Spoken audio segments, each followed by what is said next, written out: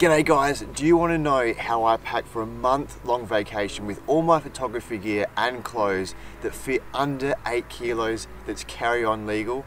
All that and more, stick around.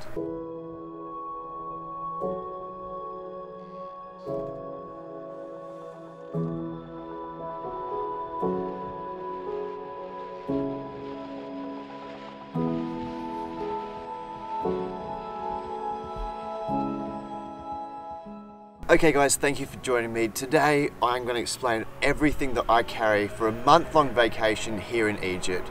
Egypt is a crazy and hustling, bustling place. I've been here for two days already and it is just absolutely mental. So I'm sorry about all the noise, but that is the ambient noise of Egypt itself. It's crazy, it's busy, but it should, it should be pretty absolutely epic.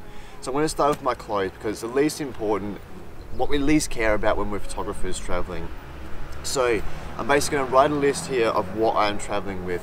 Five pairs of socks, seven pairs of underwear, uh, six pairs of underwear, sorry. Three pairs of shorts. One acts as a pair of underwear that I can wear when I wash. The second pair is uh, swimming shorts, swimming trunks, whatever you like to call them. And the third one is a nicer pair. Then I've got five tops. Okay, so three are cotton and two of them are Nike dry fits. So the hotter activities that we do, the Nike dry fits put on, sweat, they're easier to wash in a sink or wherever it is and much easier to hang outside dry within the day. Uh, what I'm wearing, so long pants, one of the tops, and also a jumper. The only thing I haven't got here is a jacket. It's a light down jacket. I'm only probably going to wear it once because we go to a white desert in a couple of days where I assume it's going to be quite cold. Because Egypt's so crazy, busy, hustle, you can hear earplugs a must need. Uh, headache tablets, I get a lot of headaches unfortunately. I think I'm going to get a lot of them in Egypt. Uh, sunglasses because obviously I am blind. Then I'm going to move on to the really annoying part that I hate traveling with and every time I go away I contemplate bringing it but every time I go away I end up using it and doing a lot of editing. So I've got my laptop, it's the Dell XPS 15, it's an absolute beast of a machine, 4K screen, 32 gigabyte, one, ter one terabyte SSD, it's a workhorse, but the biggest problem is it's like two to three kilos. It's super heavy, but that's what you get charger for it obviously so you can just see by the size of the charger it's like almost the size of my camera. It's really really big. This is a Dell travel mouse really cool. You flick it over that's on that's off really really cool. But these here are something I wanted to talk about. This is the latest edition. After I come back from Kyrgyzstan I was basically traveling with three no two sorry two same as this now two uh, hard drives they weren't solid state like these are. So these are solid state. These are from SanDisk. I actually got the idea from Brendan van Son. He done a promotion for them. I looked into them and they do suit my or our travel needs. So this one's 500 gig, this one's 250. This is what I keep, so the 500 I keep all my footage on. So basically every night I come and dump it on my laptop, dump it on here, but this is my work drive, okay? So I'm working, I'll be working from uh, Premiere Pro from here, uh, all the footage that I want to work, so editing vlogs and that, and then I'll use Premiere Pro just to run on my laptop. So it's better to run the dual, uh, especially SSD, if you've got SSD on my laptop, and also here it's much, much faster. And also it's USB-C, so it does up to 495 megabytes write speed, which is really, really cool fact. But on these two things, I want to touch on some quick tips and tricks. With your laptop, it can be brought as a second bag on most airlines around Europe, I know that for a fact, but most them around the world. So if you ever get my bag weight, which I'm going to touch on in a second, I take this out. It's about two kilos, so if I'm carrying with 10 kilos, it's eight kilos carry on. I'll take this out, weigh it, it comes up right. They should weigh this bag, but they hardly ever, ever weigh it because they know it's a laptop and it's gonna sit under the seat or somewhere along the line. Next is clothes. I want to talk about just bring what you need, not what you want. So I pack for one week. That's it, one week I can get by. So on this trip, I'm here for four weeks or just under four weeks. I'll wash three times and I know I'm fine all the way through. But if you're hesitant about bringing something, especially a t-shirt or something, leave it behind. You can buy it here. We already walked through the, around the bazaar here in uh, Egypt and it is so cheap for t-shirts. A crappy t-shirt will cost you like one or two euros in pretty much any country. So just save the weight there, save the time and hassle, buy cheap clothes when you're there if that's something you want to do. If you want to look good, look fancy, bring it all with you, but you're not going to be able to carry just on carry-on luggage. So the next is the bag. I always bring a day pack because I want to bring a water bottle, camera, one lens, you know, just the little stuff, passports, wallet. And if I did carry around my big backpack, it gets super frustrating, super annoying.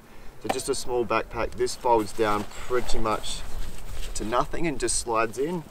Uh, usually I put my laptop in it and just slide it in down there also. But this here I don't want to touch on too much because I want to do a complete separate vlog on this. It's an incredible backpack, but it's my first actual full trip. Using it, exploring it, everything. I've used it in Slovenia for the last month, six weeks.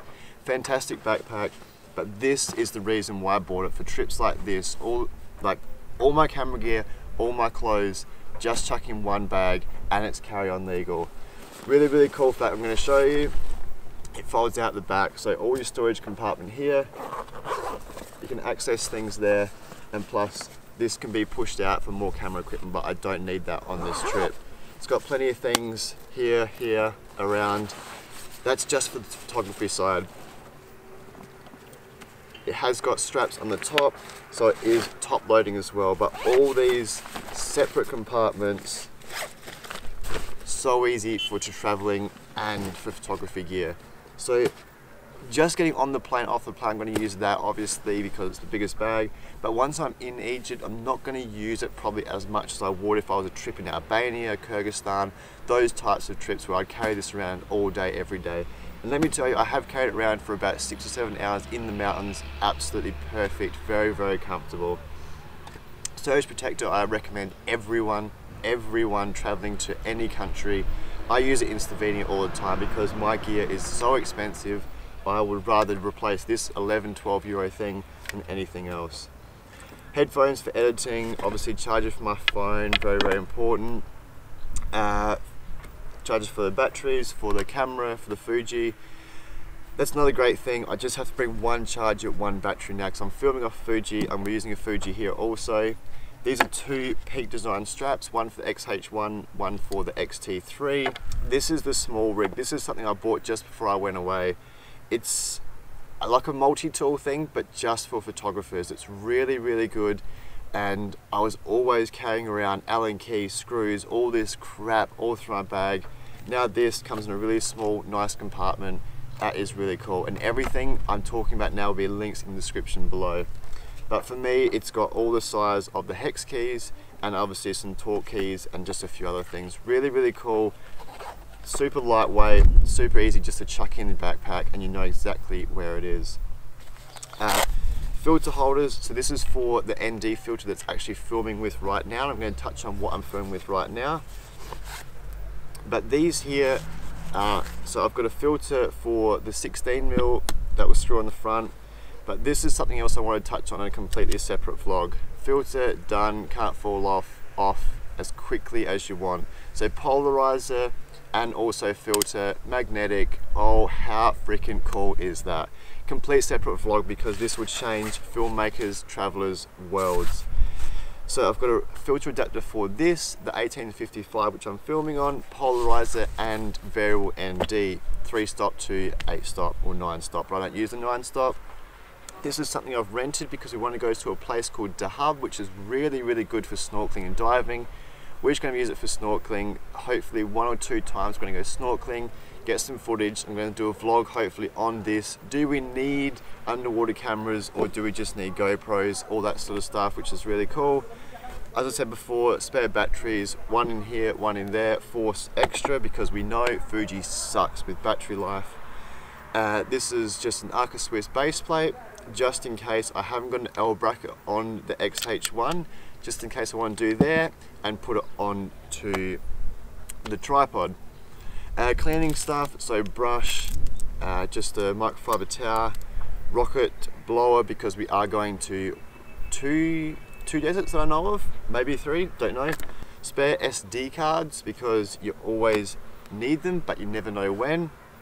Right, getting onto camera equipment, obviously smartphone, all the apps, music, whatever you need. I'm going to talk about what I'm using now. So I did bring the Manfrotto 190 Go, which is a smaller tripod. It folds down to about 40 centimeters, but folds up to about 140 centimeters. It is my smallest tripod. Obviously ball head. The really big issue with that is I brought that literally for one photo in the White Desert. I want to do some star photography in the White Desert that we're going to because it should be clear. Should be clear. So I've got a big tripod, a medium tripod now. I used to have a really small tripod and this is the problem with YouTube is you, you sort of need two tripods when you're traveling or when you're doing something to film yourself and obviously one to hold the main camera. I would, or I am thinking, I want to know your guys' thoughts in the comments below. Should I get a small tripod that folds down to about 30 centimeters, carbon fiber, super lightweight for trips like this? And then on another trip bring it just for the vlogging camera and then have this 190 go as the main tripod. I don't know, all these things, all this equipment, but I want to try and become minimalist as possible so it's sort of contradicting myself a little bit. Getting onto that, uh, I am traveling with the X-T3 also, which is filming you right, or filming me right now, what you're watching through. The 18 to 55 mid-range uh, zoom, and also the Rode Mini Mic with the fur like the cats will love it here. My great debate. Right, so what I'm trying to do is go minimalist as possible with my photography gear and especially on this trip because I want to learn the craft of photography and videography again. And the only way you can learn the craft is by having minimal, minimalist gear, not all this gear, and changing over lenses all the time. Learn the gear inside out and that will that's what I think to me will bring the best results. If you learn the best of what you want to use, you're going to get the best of what you're using. Then you can upgrade a little bit to do that, which is already what I found. I know on this trip the 18 to 55 is going to limit me in so many aspects. I used this setup for one week in Slovenia before I left to get to know the craft of these lenses 16 mm 1.4 which is I want to use in the star photography but I know it's bad for star photography. I want to find out how bad and how can I improve it to make it not as bad as everyone says it is. One lens low light filming low light photography star photography all that sort of stuff. Macro filming can be done with this lens. The Samyang 12mm that I own can only do one thing for me really now, I did do a great debate about the Sony to Fujifilm, which obviously always gets mixed reviews, but I did say in that lens that in that review, sorry, it was all about what I use the camera for, and that is what I use this for also. So I went out and re and uh, rented the Fujifilm X-H1. I have had it for about a week now, playing around with it, but this is going to be the extensive trip, this one month trip of me using it. So camera lineup XH1, XT3, 16mm 1.4 and 18 to 55mm. Guys, this is my minimalist trip that I could possibly take. I couldn't do anything less basically than what I'm taking right now. This is as low as I can go on the scrim, carried all day on my back. The great thing is I can walk from buses to the hotel, to the hostel, wherever if it's 15 kilometers, pff, let's do it on my back. Minimalist gear, really, really cool. I'll be writing a blog about this also, which will be linked in the description below. And all the links to all this stuff that I'm carrying right now will be in the description below. They are affiliate links, I just want to put a heads up. So anything you do purchase will help me out a little bit, which guys, I do appreciate so much by making this content. Secondly, I want you to comment below, what would you take on a minimalist trip like this? You've got one month in a warm vacation, uh, warm, sorry, climate, so I can afford to pack shorts and t-shirts, which are much lighter. But camera gear wise, let me know what you would take on a trip like this.